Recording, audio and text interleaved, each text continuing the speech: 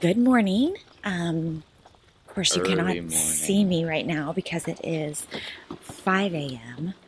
Um, we are going on our hot air balloon. So, I'm super excited. We're headed into the house to grab some water um, before we go. And um, our driver should be here to pick us up anytime. So, we're very excited.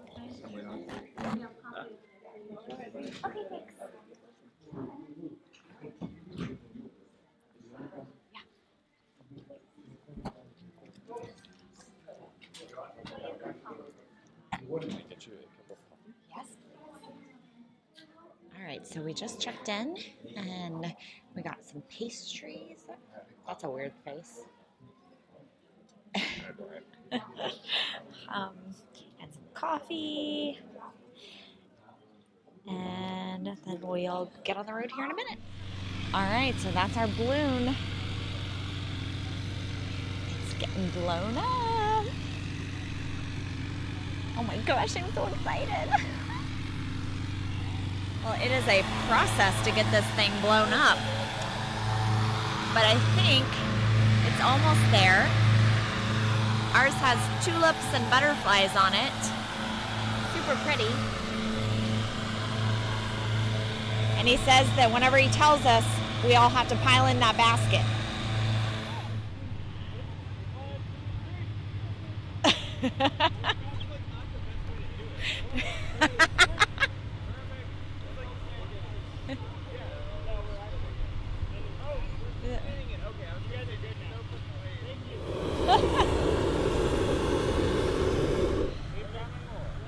I got him working.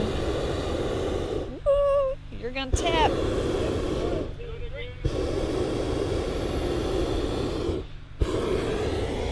No, I am so excited. I said I'm so excited. This is so amazing. That's crazy. It's it's warm in here. Um, we're getting ready to take off. Oh, here we go. Jacob, just pull it out that way right now. We have taken off. Gee, that was a that was a whole lot of work, you guys, just to get. Uh. See the hot air balloon behind Yep. us? Yep. so cool. There's another balloon. Oh, look at the the uh, shadows on the ground of our balloons. So different wind directions at different altitudes. Don't like the way it goes. Change altitude. Try and find something else down low. We're going that way. Up high. Well, you guys look through this gap. There's a big lake on the other side, but if you look far enough, you're looking at all the fog. now. Don't ask me why, but July and August are foggy. What do you It's think? May and Awesome. This is amazing. So look behind us, everybody. That's all. That was all open land. Two years ago, almonds, every bit of it. Hmm. Yeah. So we are. That one down on the ground still having trouble, I guess. He just got his top put back in, Ah, and now they're starting to turn the fans back on. Yeah. I can't tell you how good a job you guys did helping move the basket, jumping in when I said jump in now. we got true professionals on this basket. What's that? We got true professionals on this basket. You guys basket. want a job? And old monarch, you are probably just judging from what.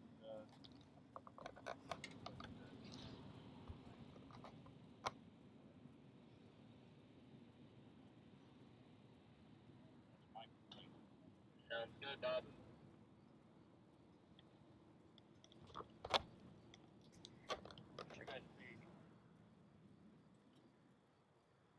Copy that, speed north.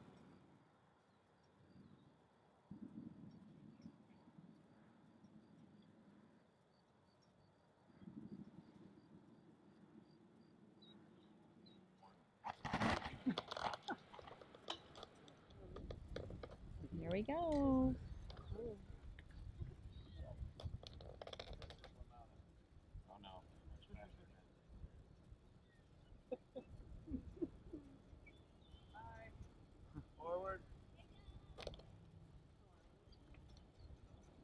Bit more.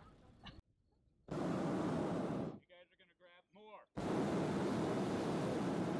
Stop, stop. You guys are gonna grab, stop. Grab the back side. Oh wow. We're- Hold on, hold on. Whoa. Oh, that's quite awesome. That was impressive. That is impressive. Yes. That is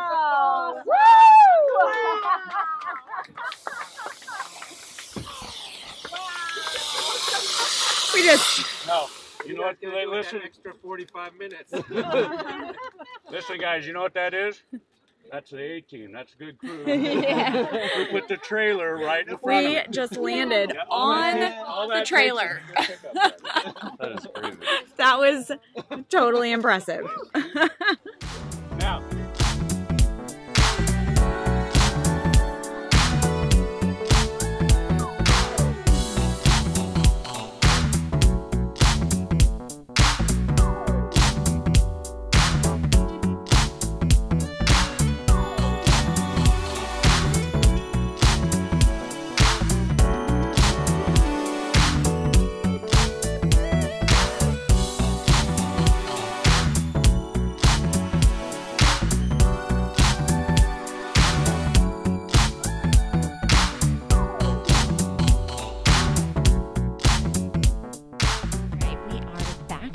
Domaine Chandon, which is where we came this morning to check in.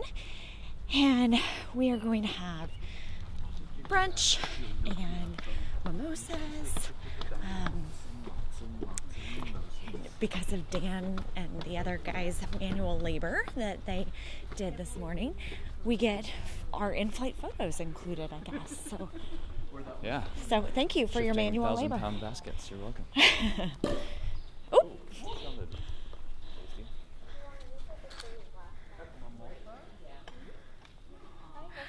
Hi, thank you. All right, so we are Cheers. just cheers. we are just finishing up. We had our mimosas. Uh, Dan's just going with the straight champagne Yeah, well. or sparkling wine, The I ratio suppose. of liquid to glass is higher in champagne if you don't dilute it with the orange juice. Okay, that's true. Um, so we are kind of just wandering on the grounds. We just met some lovely people. Um, uh, another couple that was on our balloon with us. We sat with them at our breakfast and chatted all about Disney. Um, and jobs and everything else. And we are getting ready to wrap it up here. What time is it? 947. Oh, seems like it's a lot later than that because we have been up for many hours. Um, but it is at almost 10 o'clock. We are going to head back to the inn Something tells me we'll be that early tonight, so for sure. Um, not probably going to make it long after dinner, but um, we're going to go back to the inn, uh, get cleaned up, and head to. Take a shower. I know. Stinky. Thank you for that. Um, we're gonna head to Stag's Leap for our. I think we have a noon appointment there, um, and then we have Opus One, which I'm like super excited for this afternoon. I cannot wait to do that one. Um, but before we go, I just want to show how beautiful this property is. This is the Domaine Chandon, which, You- by the way, sparkling wine, pretty good. Yeah. All right. So we just arrived at Stag's Leap Wine Cellars. Beautiful area. Look at those amazing mountains in the background. Uh, we have a noon tasting. We are a few minutes late. Um, hopefully, that's not a problem here.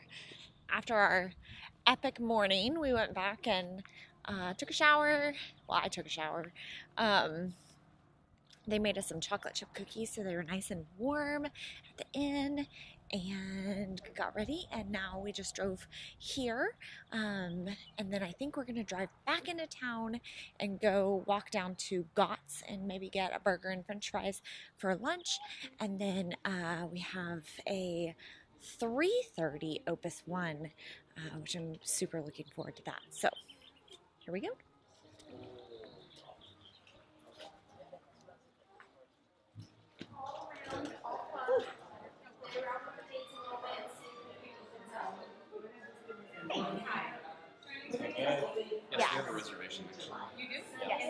Valerie.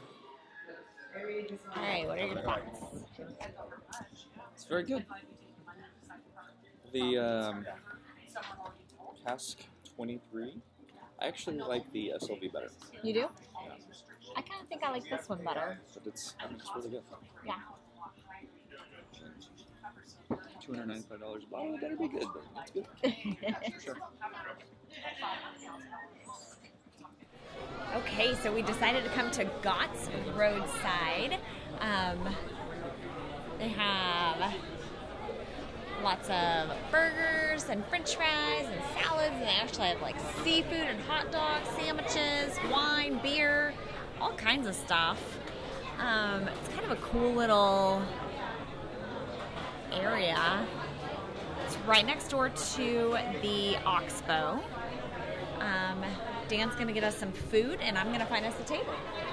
All right, so we are at Gott's Roadside, and just got our um, onion rings, our garlic fries, and our California burger, which has a fried egg on it. Yeah, show me that, baby. Mm-mm-mm. And uh, we have our Pliny, what's it called? Pliny the Elder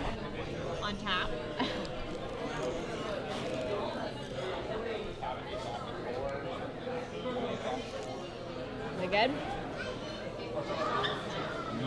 All right, don't eat it all before I get to it. No promises. I better turn this off then. We have just arrived at Peju. We uh, we've had this wine before and it's fabulous. So we kind of are excited to kind of try this out and taste. Um, we let's see, are going to um, head over to Opus One after this. So we don't have a ton of time. Uh, it's 2:45 right now, and we have reservations at Opus One at 3:30, which it is about a mile down the road. So we're actually just gonna walk. Uh, but this is beautiful grounds. Um, all right, so it is actually a little bit of a wait uh, for their tasting. I haven't quite heard of that before, but um, we walked up to the bar and she's like, "Did you check in?" There's a wait. Mm, no. yeah, nope, didn't do that. So Um, we won't be tasting here. So we don't have a ton of time, like I said, and so we are going to um, just walk around and take some pictures and kind of enjoy the grounds a little bit. So here we go. Restaurant. All right, so we walked the mile and a half or so from Peju down Highway 29 and are heading towards our 3:30 appointment to Opus One. It's a lovely walk. In retrospect, it was longer than I was expecting. Yeah, A mile and a half here compared to a mile and a half at home feels different. I think it's just the fact that all of these speeding cars That's true. don't And feel there was so a dead safe. snake. recently just closed the building um, for major renovations. Oh wow. We're doing everything It inside. looks like it. Yeah. So you'll it'll give you reason to come back. But temporarily, we have this beautiful room here. where We'll be where we'll be doing our tasting. Okay. Awesome. The um, new tasting room is actually that stone building there on the end. So the same. At first, Napa County was really resistant with all of the wineries expanding, and then they, I think they finally realized that it was much needed. Yeah. Absolutely. Hi. Good, how are you? I just set up right here in the middle. Okay.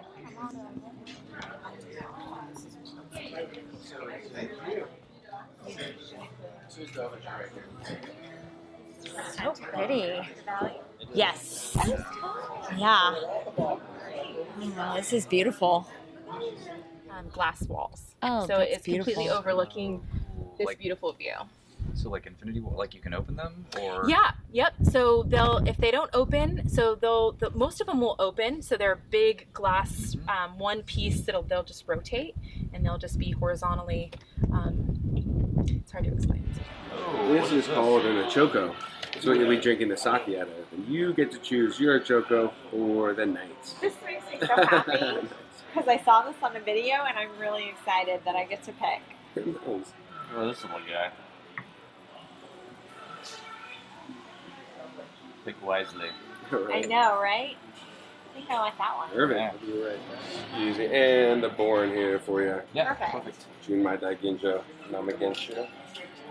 Um, so the best way to approach the entire menu is to share everything the whole way through. Okay. Um, it's all like family share. Here we have corn fritters. Yum. These are super good. so yummy. The sake's really good. Really good. All right, so next course Okay, is. Thank you. pork belly. Looks pretty tasty. You want your oh, you want your pork belly? Yeah. Weird statement. Well, that looks good. That does look good.